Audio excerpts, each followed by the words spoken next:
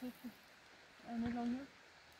En det er i Obeksbrutalen.